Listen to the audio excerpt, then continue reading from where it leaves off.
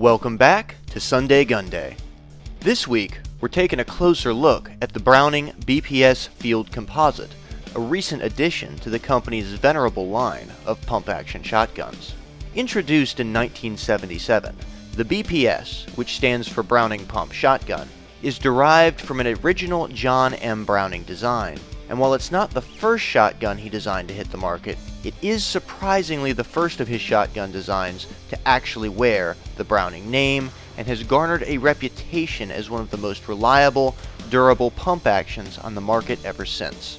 Built first and foremost to be tough and reliable, the BPS's receiver is machined from a solid block of forged steel, and a pair of rigid action bars made from heat-treated steel eliminate twisting and binding for faster, more efficient, and dependable slide action operation.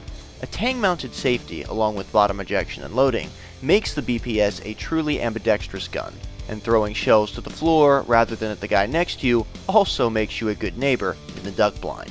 The all-weather composite stock features textured gripping surfaces, an oversized trigger guard for easier shooting with gloved hands, a straight heel section that makes it easy for a gunsmith to shorten the length of pull up to 3 quarters of an inch, and the company's Inflex recoil pad, which has specifically shaped rib structures inside the pad that drive the butt down and away from the shooter's face, ultimately reducing felt recoil, which anyone who hunts with a pump gun can appreciate. The barrel features a brass bead front sight and floating rib, a design which allows the rib and barrel to expand at different rates and move independently of each other, preventing point of impact shifts caused by barrel heating, a feature that high volume shooters should appreciate. The BPS Field Composite is available in 10 gauge with a 3.5 inch chamber, 12 gauge with a 3 or 3.5 inch chamber, and 20 gauge with a 3 inch chamber, all with your choice of a 26 or 28 inch barrel. Finish options include matte black, mossy oak breakup country, or mossy oak shadowgrass habitat camo finish.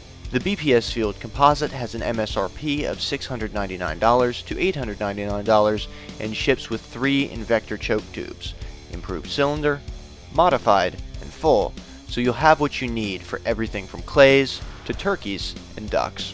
To learn more about it, visit Browning.com. And for more Sunday Gun Day any day of the week, check us out right here at AmericanHunter.org.